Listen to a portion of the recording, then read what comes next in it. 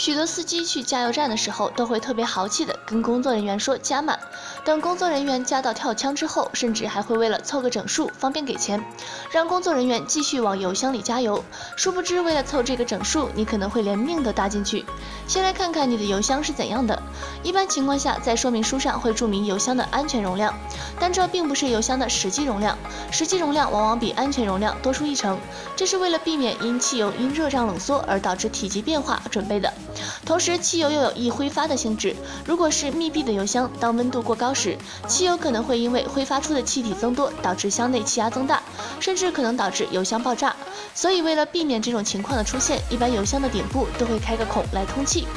如果油箱加的过满，一方面会导致汽油从通气孔冒出，而由于汽油的挥发性质，遇到明火可能就会燃烧。当你不经意间抽支烟，也许就会让你的爱车着火。另一方面，当油箱内满满的都是汽油时，会导致通气孔阻塞，箱内汽油为发动机供油后，就会产生负压，阻碍汽油继续为发动机供油。当这种情况到达一定的程度，最终造成汽油供应不上，车子就会熄火。所以加油并不是越满越有安全感，一定要在安全范围内加油，否则油浪费了是小事，出了事故那就得不偿失了。